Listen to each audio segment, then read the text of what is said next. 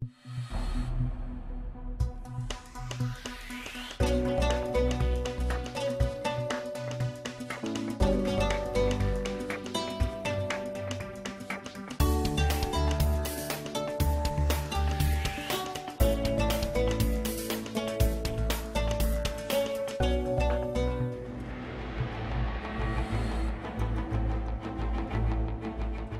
الله أعزائي المشاهدين في برنامج تك. معكم أنا أمنية صدقي من كلية المعلومات والإعلام والعلوم الإنسانية بجامعة عجمان للعلوم والتكنولوجيا مقر الفجيرة تابعوني.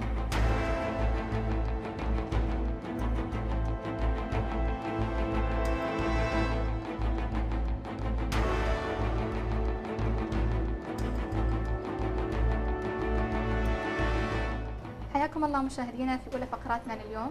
معايا الأستاذ الدكتور علي أبو النور المشرف على المشروع. حياك الله أستاذ. أهلا وسهلا بك شو أخبارك؟ الحمد لله رب العالمين. سلام. الحمد لله. ومعايا الزميلة شيخة. شو أخبار الشيخة؟ الحمد لله يا تمام ريت تعرفين نفسك للجمهور أول شيء. اسمي شيخة السيد الحفيتي من جامعة عجمان للعلوم والتكنولوجيا تخصص هندسة كهربائية اتصالات سنة رابعة خريجة. إيه، ما شاء الله عليك يا شيخة. طيب ممكن تعرفينا على مشروعك؟ آه، مشروعنا هو جدولة الأحمال الكهربائية لتفادي ساعات الذروة. آه، عندنا طبعا في دولة الإمارات العربية المتحدة زيادة استهلاك الطاقة في ساعات معينة من اليوم أكثر من الساعات الأخرى والتي تسمى بساعات الذروة. وهالمشكلة تعد مشكلة عالمية مش بس في دولة الإمارات العربية المتحدة. ومشروعنا هو توزيع الأحمال الكهربائية خلال اليوم لتفادي مشكلة آه، زيادة الاستهلاك في ساعات الذروة. ممتاز. طيب شو فكرة المشروع؟ شو مهامه يعني اللي يؤديها هذا المشروع؟ آه، المشروع يستهدف فئتين فئة المستخدم وفئة هيئات الكهرباء. بالنسبة للمستخدم لتقليل فواتير الكهرباء أما بالنسبة لهيئات الكهرباء لتفادي زيادة الطاقة عن الطاقة المسموح بها والتي توفر من هيئات الكهرباء. شيخة متى بدأتي هذا المشروع؟ وهل كان معك زميلة أخرى أو حد يشاركك في هذا المشروع أو لا؟ بدأت بالمشروع بسبتمبر 2013 وكانت معي صديقتي أبرار محمد بإشراف الأستاذ الدكتور علي أبو النور. طيب ننتقل للأستاذ الدكتور علي أبو النور. حدثنا عن هذا المشروع. الحقيقة المشروع كان زي ما قالت شيخة كان في سبتمبر 2013 جولي شيخة وأبرار هم حقيقة طالبتين من العيار الثقيل. لأن هم الطالبتين دول معدلهم فور تقريبا هم الاثنين وكانوا لما طلبوا إن هم يشتغلوا في مشروع كانوا عاوزين مشروع برضه من العيار الثقيل علشان يليق بيهم طبعا يعني. الحقيقة المشروع ساعة ما جه فحاولنا نفكر فيه ليس مشروع تقليدي ولكن مشروع يستخدم في حل مشكلة معينة. واحدة من المشاكل اللي موجودة عندنا في دولة الإمارات هي مشكلة الطاقة. مش بس في استهلاك الطاقة ولكن كمان في آه، إزاي إن إحنا نوظف الموارد اللي موجودة بأفضل طريقة ممكنة. عملنا محاولة مع هيئة الكهرباء الاتحادية للمياه والطاقة وكان المشروع أساسا مبني إن هم يوفروا لنا البيانات بتاعة استهلاك الطاقة آه، في السنتين الأخرانيين. والحقيقة ادونا بيانات تفصيلية على الأحمال اللي موجودة جميع الأيام وجميع الأشهر بالتفصيل. آه، منه عرفنا ساعات الذروة اللي المفروض تلافيها. مثلا موجودة ساعات الذروه دي في فصل الصيف من 3 ل 5 وفي فصل الشتاء من آه، 6 ل 8 لو أنا قدرت إن أنا أحرك الاحمال عن 3 ل 5 أو 6 ل 8 هتلافى حاجتين. هتلافى إن أنا أحمل المحطات زيادة عن طاقتها وبالتالي أتلافى إن المحطات الكهرباء تبقى في وحدات إضافية ودي كلفة على الدولة. وفي نفس الوقت هؤدي إن أنا أخفض الأحمال لمعدلات جيدة اللي هتؤدي لاطاله العمر الافتراضي للشبكات الكهربائية اللي موجودة فعلا. أرجع لك زميلتي شيخة. أنت تكلمتي عن موضوع الجدولة آه، ممكن تحدثينا كيف تتم هذه العملية؟ طبعا الأحمال الكهربائية تنقسم إلى قسمين أحمال مرنة يمكن التحكم في وقت تشغيلها مثل الغسالة آه، والمكنسة الكهربائية المكواة وسالة الصحون وأحمال غير مرنة لا يمكن التحكم بها مثل الثلاجة المكيف والمروحة. وفي مشروعنا معنى الجدولة هو التحكم بتوقيت تشغيل الأجهزة الكهربائية آه، لصالح المستخدم ولصالح هيئات الكهرباء. شيخة أنتم جربتوا هذا البرنامج؟ آه، طبعا إحنا جربنا هذا البرنامج لحساب اولا فاتورة الكهرباء لدى المستهلك وثانيا آه، بالنسبة لهيئات الكهرباء لتقليل استهلاك الطاقة في ساعات الذروة. بالنسبة للمستهلك آه، البرنامج سهل الاستخدام بحيث أن يختار أوقات تشغيل الأجهزة الكهربائية ومدة تشغيلها، راح يقوم البرنامج دايركتلي بحساب فاتورة الكهرباء لدى المستهلك ومقارنتها بأسوأ آه، فاتورة كهرباء يمكن للمستهلك الحصول عليها وأفضل فاتورة كهرباء يمكن للمستهلك الحصول عليها. جميل إذا تم تجربة هذا البرنامج. آه، أرجع للأستاذ الدكتور علي. آه، دكتور ما هي جدوى هذا البرنامج؟ آه، وشو يعني فائدته بشكل خاص وعام؟ آه، الحقيقة بشكل خاص آه، المستخدم ممكن ما يكونش واعي إن آه، بتقويم بسيط في سلوكه في استخدام الطاقة أو الاوقات يمكن يوفر كتير. على سبيل المثال لو هو مقرر إن هو يشغل الغسالة ال- الملابس أو غسالة الصحون أو المكنسة الكهربائية هل ده يتم في أي وقت؟ الإجابة المفروض تكون لأ إن هو يكون يتم في الوقت المناسب بالنسبة له وفي نفس الوقت لازم يكون برضو الوقت المناسب بالنسبة للأحمال الكهربائية بصفة عامة. فهو عن طريق إن هو بينقي الأوقات اللي هو ممكن يشغل فيها الأجهزة دي بتطلع له الفاتورة بتاعته هو لو مثلا شغلها في ساعات الذروة ممكن الحكومة بتحاسبه بسعر غالي لأن هو بيحمل الشبكة. بينما لو شغلها في ساعات ليست خارج ساعات الذروة مثلا في أوقات المبكرة من الصباح أو في أوقات متأخرة نسبيا بعد الظهر ممكن يبقى التشغيل بتاعه أقل قليلا. آه، بيقدر يحسب آه، الكلفه في حاجة اسمها الكلفه العظمى والكلفه الصغرى وهو فين بالنسبة للسلوك الأمثل لاستهلاك الطاقة. ممكن يوصل إن هو يوفر حوالي 50% من الفاتورة الكهربائية اللي بيدفعها. لو شغل الأجهزة بتاعته مش هنقول بالطريقة المثلى لكن بالطريقة المريحة بالنسبة له وفي نفس الوقت المريحه بالنسبة لشبكات الكهرباء. آه، أرجع للشيخة أنتم اشتركتوا في مسابقة بهذا المشروع. حدثينا عن هاي المسابقة. آه، شاركنا في ال undergraduate research conference في جامعة زايد. آه، كان طبعا 130 poster مقدم آه، من 22 جامعة موزعة على ثمان دول وفاز مشروعنا بأفضل poster. آه، طيب دكتور شو أهمية هذه المسابقات لكل مخترع أو مبتكر؟ الحقيقة واحدة من أهم الحاجات إن هو يقدر هو يعرف هل ال- البرنامج اللي هو بيقدمه مطلوب فعلا ونمرة اتنين إن هو يقيم بطريق آه، عن طريق لجان خارجية. آه، ونمرة ثلاثة إن هو يشوف هل في مؤسسات أو شركات راغبة في تطبيقه. آه، الحقيقة الحاجات دي بتتم عندهم في ال undergraduate research conference بحيث إن هو أثبت إن هو ليه قدرة على المنافسة. الفكرة عجبت لجنة المحكمين هي كانت لجنة من الأساتذة. نمرة اتنين هم قدموا المشروع بتاعهم بطريقة ممتازة بحيث إن الناس اقتنعت إن هذا المشروع مشروع عملي ويمكن فعلا تطبيقه في الدولة. آه، أشكر دكتور طبعا أنت راح تضل معنا آه، أشكر الزميلة الشيخة اللي بتغادرنا الحين. آه، تنضم لنا الآن الزميلة أبرار اللي راح تحدثنا عن المشروع بشكل عملي. أرحب فيك الزميلة أبرار بس لو ممكن تعرفين نفسك للسادة المشاهدين آه، اسمي أبرار محمد الحمودي آه، من جامعة عدمان للعلوم والتكنولوجيا من تخصصي هندسة كهربائية اتصالات آه، سنة رابعة. أبرار أنت شاركتي في هذا المشروع. شو كان دورك فيه؟ آه، أول شيء حضرنا بيانات من آه، هيئات الكهرباء والماء بالفجيرة آه، بعد هالبيانات آه، سوينا ما يسمى بال cost function اللي هي آه، تحسب حقنا أكثر استهلاك تكون أكثر سعر وأقل استهلاك يكون أقل سعر. بعد هذا سوينا الجداول آه، تدخل في برنامج آه، وتحسب حقنا ال cost function بعد ما حسبنا ال cost function دخلنا البيا- الجدول في آه، برنامج ما يسمى ب LabVIEW عشان يشغل حقنا الأجهزة في الأوقات الأقل سعر و- وأقل استهلاك ويبندها في الاوقات الأكثر سعر أكثر استهلاك. طيب أبرار هذا البرنامج هل يسهل استخدامه لأي حد يعني؟ آه، طبعا هو سهل الاستخدام يمكن يستخدمه في الكمبيوتر آه، في آه، الموبايل أو iPad أو أي جهاز يعني يقدر يستخدمه ال user آه، ويقدر يدخل بيانات آه، آه، so يعني easy آه، طيب دكتور إذا ممكن يا ريت تقيم لنا هذا المشروع وهذا البرنامج. آه، هو الحقيقة لما نيجي نقيم مشروع في بعض النقاط بتاخد في الاعتبار اول آه، هم ثلاث أو أربع نقاط اللي هي مدى سهولة استخدامه هل هو واسع الانتشار هل هو يهم قطاعات متعددة من الناس الموجودين وهل هو يمكن تطويره.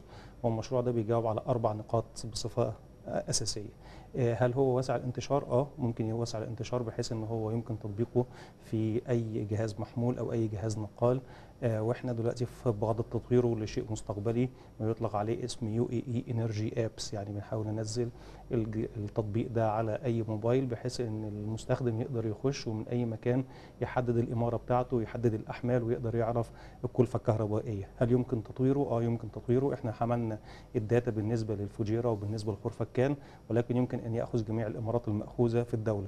الحاجة الأفضل كمان إن هو customized يعني للمكان.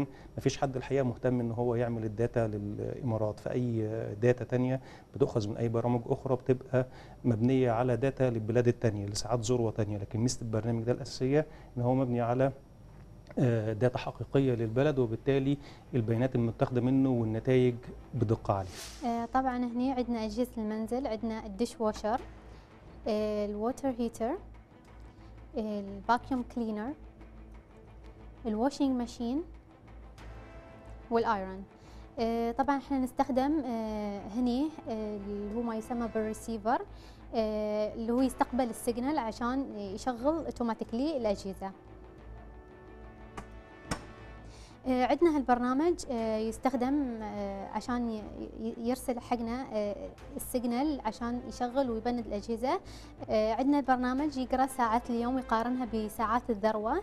آه، مثل ما نشوف آه، الحين عندنا آه، الساعة آه، تنتين فكل الأجهزة off اللي هي ساعة من ساعات الذروة. الأستاذ الدكتور علي أبو النور شكرا لك على هذا الشرح الوافي. آه، شكرا لك الزميلة أبرار على هذا الشرح. أتمنى لك مزيد من التوفيق إن شاء الله ومشاريع جديدة. آه، مشاهدينا انتهينا من هذه الفقرة. فاصل قصير ونعود إليكم.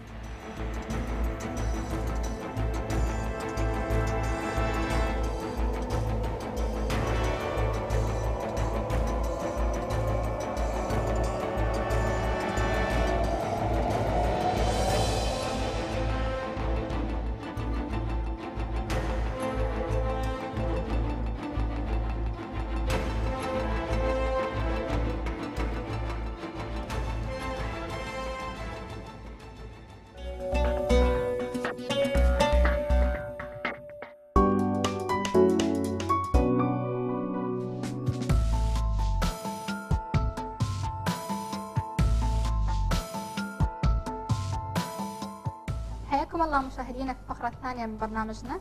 معنا اليوم زميلتين مريم وبسمة حياكم الله. الله يحييك. لو ممكن مريم تعرفين الجمهور عن نفسك؟ اسمي مريم الزعابي في جامعة عجمان للعلوم والتكنولوجيا كلية الصيدلة طالبة في السنة الرابعة. يا هلا فيك يا مريم. والأخت بسمة؟ اسمي بسمة حاتم هادي جامعة عجمان فرع الفجيرة كلية الصيدلة سنة رابعة. حياكم الله. آه، مشروعكم يتكلم عن الخدمات الصيدلانية. لو ممكن بس تعرفوني عن هذا المشروع أبدأ بالأخت مريم. اسم المشروع طبعا الخدمات الصيدلانية في مجتمع الإمارات آه، في آفاق الحاضر وتحديات المستقبل. آه، يتكلم طبعا عن كيفية الصيدلي يتعامل مع المريض. آه، طيب بسمة مشروعكم عن الخدمات الصيدلانية؟ لو ممكن تعطينا فكرة عن هذا المشروع. المشروع هو عبارة عن مشروع التخرج في السنة الأخيرة. يتكلم عن ال community pharmacy practice United Arab Emirates current status and future challenges. نتكلم عن توفير الخدمات الصيدلانية في دولة الإمارات. شو التحديات اللي نواجهها في المستقبل؟ وشو الوضع الحالي للصيدلة في الدولة؟ أنتقل لعندك مريم ويا ريت أعرف شو هي مراحل هذا المشروع. مراحل المشروع طبعا نحن قسمنا العمل ما بيننا. نحن أربع طالبات. آه، كل طالبة أخذت إمارة. آه، آه، الطالبة نور أخذت إمارة عجمان والطالبة فاطمة أحمد أخذت إمارة دبي والطالبة بسمة أخذت إمارة الفجيرة وأنا مريم الزعابي أخذت إمارة أبو ظبي قسمنا العمل بعمل إحصائية كل طالبة مرت كذا صيدلية في الدولة وقامت السؤال الصيدلي عن. بعض الأسئلة الشخصية والأسئلة الموجودة في الاستبيان آه، طيب مريم آه، ممكن أعرف كم هي عدد الأسئلة اللي وضعتوها في الاستبيان؟ آه، هو أصلا الاستبيان عبارة عن قسمين. القسم الأول يسمى بال demographic هو عبارة عن سؤال الصيدلي بعض الأسئلة الشخصية عن الصيدلي نفسه وعن الصيدلية. والقسم الثاني هو ال- اشتغلنا فيه على ال SPSS analysis هو عبارة عن 16 سؤال. يتحدث فيه طبعا عن كيفية تعامل الصيدلي مع المريض هل الصيدلي يسأل المريض ما هي الأمراض ال- السابقة اللي يعاني منها؟ هل الصيدلي يسأل المريض هل تعاني أنت حساسية من تجاه هذا الدواء؟ طبعا هذه أشياء نحن لازم كصيادلة لازم نسأل المريض عنها لاختيار الدواء المناسب. طبعا الاستبيان بين لنا أن نسبة الصيادلة في الصيدلية هم حديثي التخرج من كليات الصيدلة. وأيضا نسبة الذكور هم أكثر من الإناث. وهني نحن شفنا مشكلة أن أصلا أغلب الصيادلة اللي يتخرجون في دولة الإمارات هم عددهم إناث. هني شفنا شوية أن في فرق ليش عدد الإناث أكبر الخريجات لكن في الصيدلية اللي يشتغلون هم ذكور عددهم أكبر. وطبعا بعد مكان الصيدلية كان يتركز أكثر شيء في ال market area السوق. وهذه كانت. آه، طيب الزميلة بسمة ليش اخترتوا 16 سؤال الاستبيان ليش مش أكثر أو أقل؟ على ماذا اعتمدتوا يعني؟ طبعا لحتى نقوم بإعداد الأسئلة آه، اجتمعنا مع الدكتورة المشرفة على المشروع دكتورة سمية وشفنا معاها الأسئلة وشفنا إن 16 سؤال convenient يعني لو اختارنا أكثر من 16 سؤال ممكن الناس ما يكون عندها وقت. خصوصا ان الصيدلي قاعد يشتغل في الصيدلية فما يكفي يعني نعطيه أكثر من 16 سؤال. شفنا ان هاي يعني convenient sample ملائمة. آه، اخترنا 16 سؤال. آه، طيب آه، بس ما ذكرت مريم إن في أسئلة شخصية كانت تابعة لأسئلة الاستبيان. ممكن توضحي لي هذه الأسئلة؟ الأسئلة الشخصية كانت تتعلق بالجندر نوع الصيدلاني الذي يعمل في الصيدلية إن كان جنس ذكر أو أنثى. وكانت أسئلة تتعلق بالأعمار. وكانت أيضا أسئلة تتعلق بالكلية التي تخرجوا منها وشو نوع الشهادة الحاصلين عليها. فمن بعد الاستبيان لاحظنا أن معظم العاملين في الصيدليات نيولي جراديويت يعني حديثي التخرج آه، عندهم شهادة البكالوريوس في الصيدلة. ولاحظنا أن عدد ال- الميل آه، يعني عدد الرجال العاملين في الصيدليات أكثر من الفيميل. آه، طيب بسمة شو تستفيدون من هذه البيانات؟ الهدف كان من الاستبيان عمل مقارنة. بين الإمارات الأربع اللي أجرينا عليها الاستبيان وبين الإمارات الأخرى. و- أو ممكن هذا الاستبيان يستخدم نجري حتى المقارنة مع دول مع الإمارات الأخرى أو مع دول مجلس التعاون. آه، ننتقل للزميلة مريم. آه، مريم آه، حدثينا عن النتائج اللي وصلتوا لها في هذا المشروع. طبعا إحنا أصلا مشروعنا هدفه ان نبغى نعرف هل الخدمات الصيدلانية هي patient oriented ولا product oriented طبعا النسب طلعت عندنا آه، ان آه، حاليا الصيادله يحاولون بقدر الإمكان إنهم يكونون patient focused يعني يوجهون اهتمامهم نحو ال- المريض. أكثر من ما يخلون البرودكت الدواء هو محور الاهتمام. آه، طبعا النسب كانت آه، إن مثلا أغلب الصيادله يسألون المريض مثل ما قلنا سابقا عن حالتهم الصحية الآن وهل المريض يتجاوب مع الدواء أو لا. طبعا نحن قريبين من وصولنا للهدف ولكن أمنيتنا إنه يكون في مكانة خاصة للصيدلي والخدمات الصيدلانية. آه، والمريض خصيصا لازم يثق بالصيدلي كما يثق بالدكتور لأن الصيدلي له خبرة أكثر في علم الأدوية وتركيب الأدوية وسلبيات هذا الدواء وفوائده. فيا ريت نحن كمجتمع في دولة الإمارات هني نثق بالصيدلي كما ثقتنا تماما بالطبيب. بسمة طبعا أكيد الاستبيان وصلكم النقاط ضعف. لو توضحي لنا شو هي نقاط الضعف اللي واجهتكم في هذا المشروع؟ آه، من أهم نقاط الضعف اللي واجهتنا أن رفض المريض آه، آه، اقتراحات أو نصائح الصيدلي وعدم اتباعها بغرض الاعتماد الكلي على نصائح الطبيب.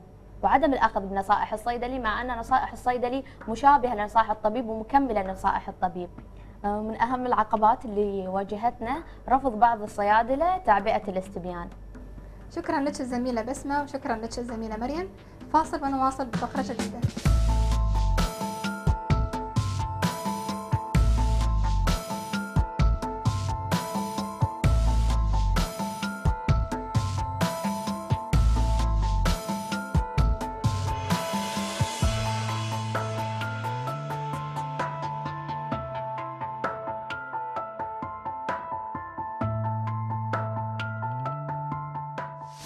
أعزائي المشاهدين نواصل فقرتنا من قسم الصيدلة من الطلاب وإذا ممكن تعرفنا عن نفسك؟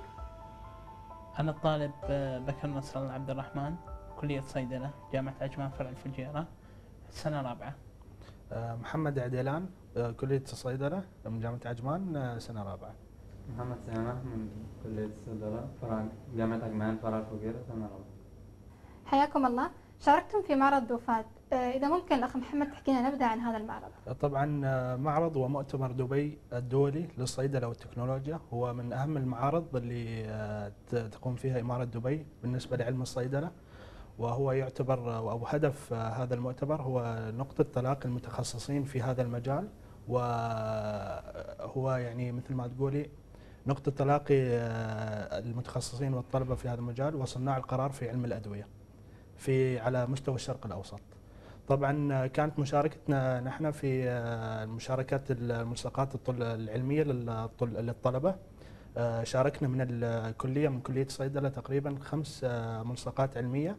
آه، وكانت آه، على مستوى جامعات الشرق الأوسط ككل.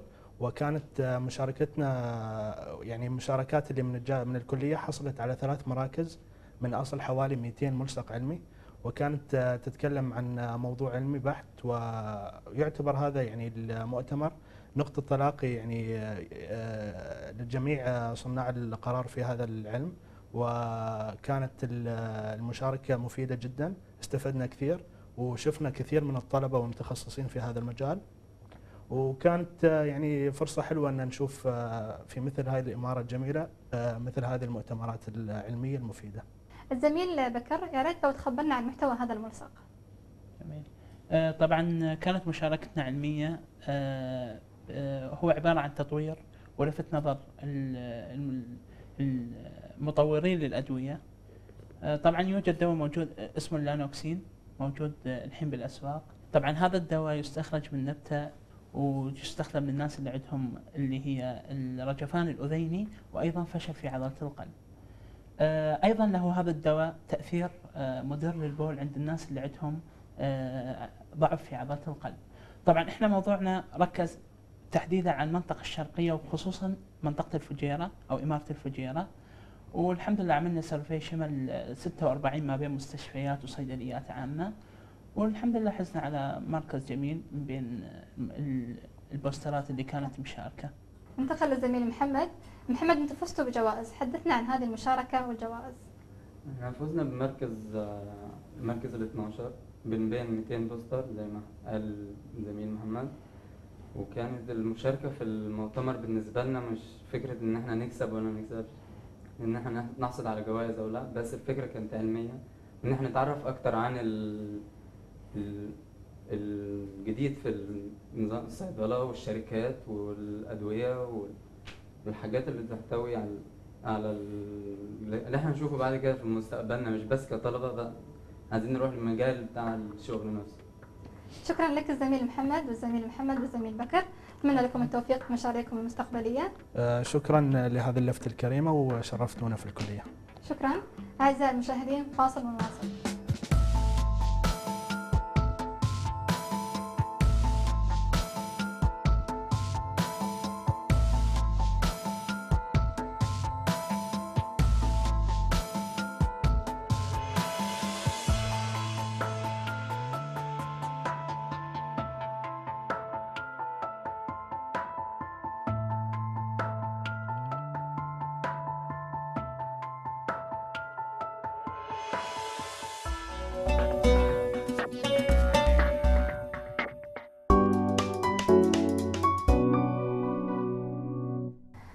فيكم أعزائي المشاهدين من جديد في عيادة طب الأسنان وفقرة جديدة مع خالد وأميرة.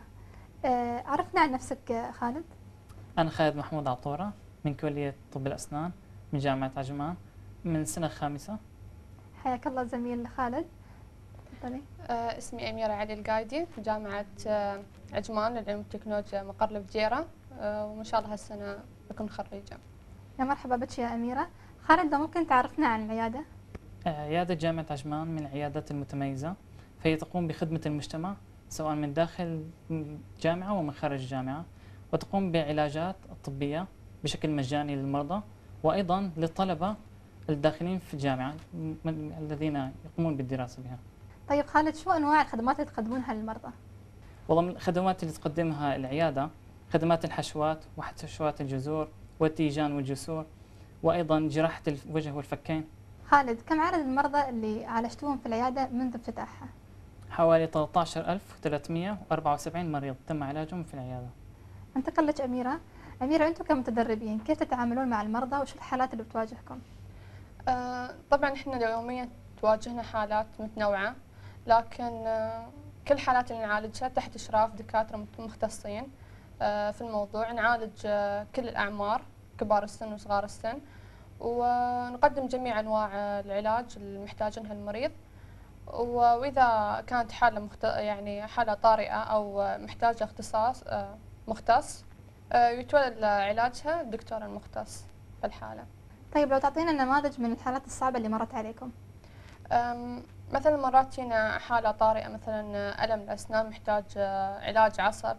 فعلى طول نوفر المكان مناسب و- ونحاول أن نعالجه علشان نخفف الألم عنده. مرات حالات آه، محتاجة جراحة فالدكتور المختص يساعدنا في الجراحة في نفس الوقت ويوفر العلاج اللازم آه، في الوقت نفسه. و... طيب أميرة الحين أنت خريجة يعني كم سنة مرت عليك تدربين في هاي العيادة وش استفدتي منها؟ آه، استمر التدريب عندي سنتين واستفدت من جميع المجالات في مجال الحشوات في مجال الجراحة في مجال علاج العصب. حتى إن عرفنا كيف نتعامل مع صغار السن. ونقدم لهم العلاج بطريقة سلسة براحة بدون ما يحس بأي ألم أو خوف. ونعالج حتى كبار السن اللي يعانوا من فقدان الأسنان. حاولنا أن نحن نعطيهم علاج ون ونعطي آه، ونركب لهم أسنان. فهذا أعطاهم ثقة أكبر في نفسهم يعني وفي شكلهم. طيب أميرة كم عدد المتدربين في العيادة؟ آه، تقريبا عددنا خمسين متدرب ومتدربة وموجود عندنا سنة خامسة وسنة رابعة بعد. آه، نحن طبعا سنة خامسة نقدر نعالج كافة المجالات آه، في أي يوم في أي وقت نحتاجه لكن سنة رابعة كل يوم عندهم تخصص معين يستقبلوا الحالات المعينة ويعالجوها. طيب أميرة أنتم الحين 50 متدرب داخل العيادة كم دكتور يشرف عليكم؟ عندنا تسع أطباء متخصصين في جميع مجالات طب الأسنان. بالإضافة إلى ذلك عندنا أربع أطباء ممارسين موجودين عندنا في جميع الأوقات في العيادة. عشان يساعدون. خالد احكي لنا عن تجربتك خلال هالسنتين. البداية كانت آه، جيدة حيث دخلنا العيادة وقمنا بعمل الحالات السريرية حيث وجدنا بعض الصعوبات آه، بالعمل من خلال تخدير المرضى إن كانوا فئة الصغار بالسن أو الكبار ولكننا مع مرور الوقت استطعنا التغلب على العديد من الصعوبات اللي كنا نجدها وباتت لدينا بسيطة ونح- وإحنا في الجامعة وخلال إشراف الدكاترة والمختصين علينا بات الأمر علينا جيدا وأصبح الأمور بسيط من خلال العلاج. وأنا أجد نفسي من خلال الدراسة السنتين التي مضت بدرجة علمية كافية وخبرة جيدة تؤهلني للعمل وأحيانا أيضا إكمال الدراسة ما بعد التخرج. طيب خالد الحين بعد ما خلصت دراستك تتوقع أن كان اختيارك صحيح لما اخترت جامعة عجمان؟ أجل أجده خيار ممتاز وأنا أنصح أي حد بيجي فيما بعد أنه يلتحق بالجامعة ويختار مهنة طب الأسنان اللي يمارسها حيث أن جامعة عجمان من الجامعات المتميزة اللي لها بصمات في مجتمع وفي دولة الإمارات والتي ونحن لمسناها من خلال آه، دراستنا في الجامعة والعمل بالعيادة أعزائي المشاهدين نواصل فقرتنا مع دكتور علي عبد الوهاب من عيادة الأسنان.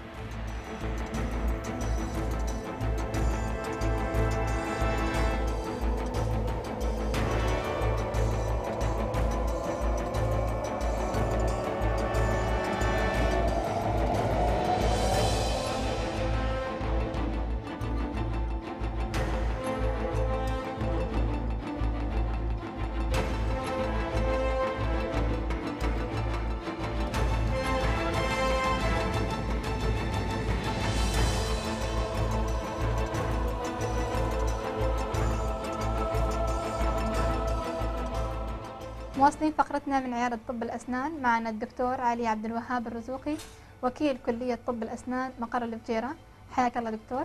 أهلا وسهلا. آه، دكتور طبعا أنت سمعت حديثنا مع أميرة وخالد. لو ممكن بس تعطينا تفصيل أكثر عن العيادة. أنشئت عيادة كلية طب الأسنان بجامعة عجمان مقر الفجيرة وذلك لتترجم ما تعلمه الطلبة أثناء دراستهم النظرية ولتجسد الجانب العملي من العلاج لطلبة الكلية. ونقوم بالإشراف على جميع الطلبة في العيادة وحل المشاكل وحل الصعوبات التي يواجهونها في علاج المرضى. ونوفر لهم العلاج المجاني لجميع المرضى وهي أحد الخدمات التي نقدمها للمجتمع ولمجتمع الإمارات. لقد بدأت العيادة ببداية بسيطة منذ إنشائها في جامعة عجمان مقر الفجيرة وكانت تحتوي على 25 كرسي أسنان فقط. وفي ذلك الوقت كنا نواجه صعوبات كبيرة في إيجاد المرضى وتوفير المرضى للطلبة. ولكن باستمرار العلاج وبتقديم العلاجات المتميزة للمرضى زاد عدد المرضى في عيادة الكلية. وبالتالي أصبح الآن آه، نقوم بإعطاء مواعيد للمرضى وذلك لجودة العلاج وللإشراف المتميز الذي نقوم به ومساعدة الطلبة في آه، علاجات حتى بعض الحالات المعقدة التي يتعذر علاجها في بعض العيادات الخاصة دكتور عرفت أن ما بين 50 مريض ل 75 يزورونكم في اليوم كيف تتعاملون مع هذه الحالات؟ نتعامل مع هذه الحالات بكل دقة وبكل أمانة في من الناحية العلاجية حيث نقوم بتوفير أجود وأعلى ال- أجود المواد في مجال طب الأسنان ومن مناشئ عالمية معروفة ونقوم بتقديم العلاجات بشكل مجاني لهؤلاء المرضى وكذلك قمنا بتوسيع عيادة كلية طب الأسنان وزيادة عدد الكراسي من 25 إلى 40 كرسي لاستقبال العدد أكبر من المرضى ولتقديم علاج أفضل من المرضى في هذا المجال. دكتور من خلال متابعتك كيف تشوف رضا المرضى؟ لقد لمسنا رضا متناهي ومنقطع النظير من قبل المرضى الذين نقدم لهم العلاج في مجالات طب الأسنان وكذلك خير دليل يؤكد ذلك زيادة عدد المرضى من شهر إلى آخر ومن سنة إلى أخرى حتى أصبحنا آه، نعطي مواعيد لاستقبال العدد المنقطع النظير للمرضى الذي يزورون هذه العيادة كلمة أخيرة دكتور لو تحكي لنا عن الطلبة اللي تدربوا داخل العيادة. نحن في رضا كامل عن جميع الطلبة الذين تدربوا في عيادة كلية طب الأسنان لدينا ولم نبخل عليه- عليهم بأي آه، معلومة وبأي مادة وبأي تقنية حديثة في كلية طب الأسنان ولدينا خطة تطويرية لجميع مرافق الكلية. قمنا بتنفيذ 75% منها وباقي جزء بسيط وبذلك نرتقي بالعيادات وبمختبرات الكلية إلى أعلى المستويات العالمية في مجالات طب الأسنان. وكذلك قمنا بإنشاء مركز تخصصي في مجال طب الأسنان يقوم بتوفير أيضا علاج آه، مدفوع الثمن من قبل المرضى ويعد نموذجا يحتذى به لعيادة كلية طب الأسنان أو لمركز طب الأسنان في منطقة الشرق الأوسط. ونقوم بتجهيزه الآن بأحدث ما توصلت إليه التقنيات العالمية في مجالات طب الأسنان. شكرا لك دكتور علي عبد الوهاب على هذه الإضافة. مشاهدينا الأعزاء فاصل ونواصل.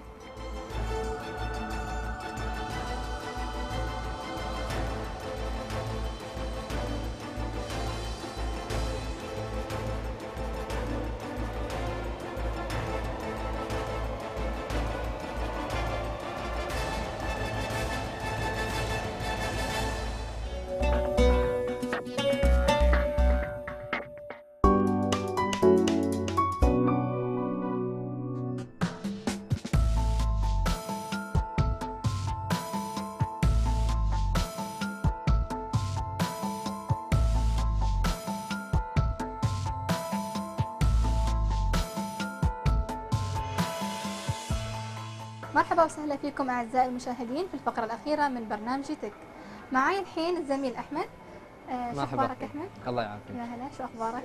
الحمد لله الله آه، يعافيك أحمد لو ممكن تعرف المشاهدين عنك؟ آه، معك طالب أحمد الحمادي من آه، جامعة عجمان رابع سنة خريج إن شاء الله هالكورس آه، طالب آه، في كلية المعلومات والإعلام والعلوم الإنسانية تخرج إن شاء الله علاقات عامة وإعلام أحمد شو بتخبرنا في هاي الفقرة؟ راح أخبركم عن اجهزه الواي فاي مثل هذه الأجهزة اللي هي آه، بالعربي البث الخلوي اللي تكون آه، تستخدم موجات الراديو آه، لتوصيل ال- البيانات أو المعلومات بسرعة فائقة وأفضل من قبل يوم الناس يوصلون الوايرات عشان نوصل إنترنت أو غيره.